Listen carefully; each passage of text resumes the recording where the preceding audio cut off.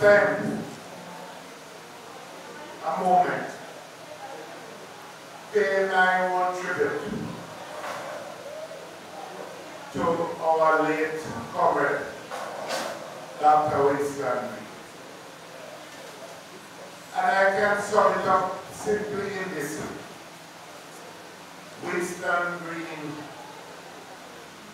represented the best of Jamaica and the best of the people's nationality.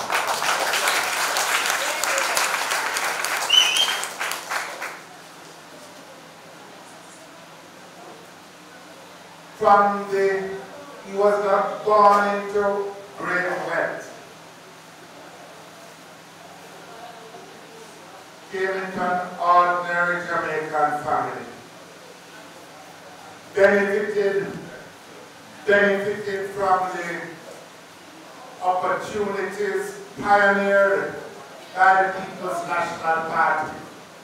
Studied dentistry in Cuba, but from the day that he knew himself, he was determined that he was going to live a life of service to the people of his country and the people of St. Mary, ultimately, which he served as member of parliament. He was not a man who quarreled with people. In the parliament, there were a lot of strong and sometimes combative and sometimes cantankerous personalities. You never hear of Winston Green in a quarrel with any other When his voice was raised, it was an act of peace.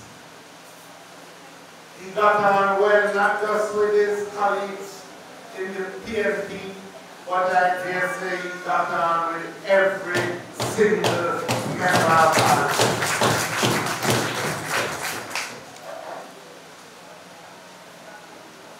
had occasion to say to his mother whom I visited that when I look at the circumstances of his passing, I believe it is true to say that he literally worked himself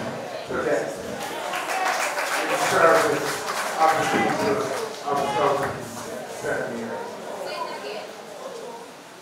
He was here way past midnight. Three o'clock. And then went in. Anytime he to me, he was thinking about what service he could do. When I was back to school or some other benefit health fair, small business development, getting a road repaired, a water system put in place. That was Winston.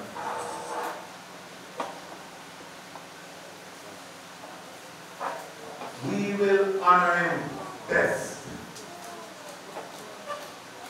by ensuring that the task that he set himself get continued and that and that the standards and the values that he lived by continue to be held high. Not only in this constituency, but in this.